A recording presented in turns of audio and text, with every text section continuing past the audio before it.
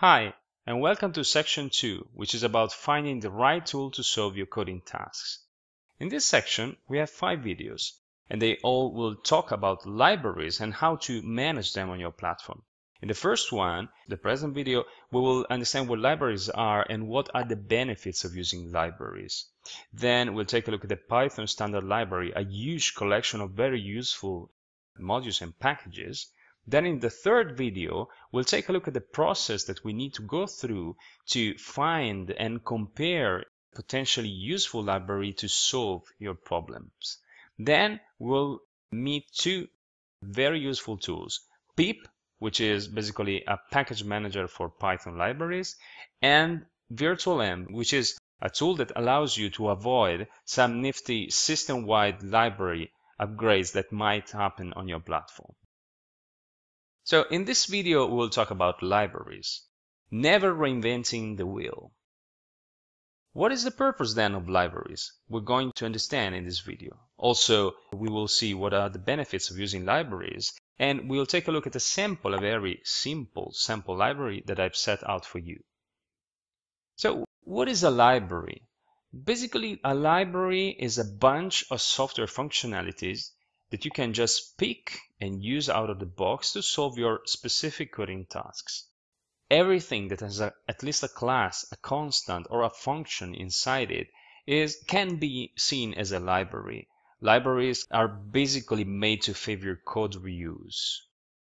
What are the benefits then of using libraries? Basically, if you use libraries, you are relieved of, you know, taking time to solve trivial or recurrent coding tasks because someone else has already done the job for you and it has uh, structured it in a reusable way. Also, the more libraries are used and the more they're likely to be tested and documented and you know the more feedback the library creators get from the community and from the library clients. Then you can also make a business out of libraries. You can so sell them or share them with other developers and most important, you can structure your code so that the people working with you can use your own code as a library. And this includes yourself because you can use in the future your own libraries. So let's take a look at a simple library that I've created in PyCharm for you.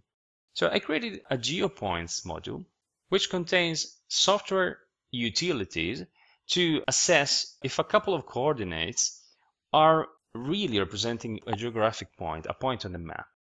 Um, I created a isGeoPoint function that takes a couple of numbers and tells you if this is a feasible, a real uh, point on the map. And then I've set out a few other functions that tells you if a couple of coordinates is placed on the northern hemisphere, in the southern one, or on the equator. This is a very simple example of, uh, you know, software functionalities that can be reused nevertheless. I created a main script that basically calls these functions upon real places in the world like Quito or Perth and also in imaginary places that are non-real.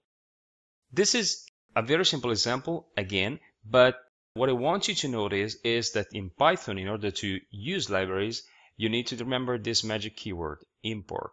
Importing a library gives you access to its namespace and therefore you will be able to call the functions, the classes, and everything is stored into that library. So in this video lesson, we learned what libraries are and why you should use them in coding. And then we've taken the example of a very simple library.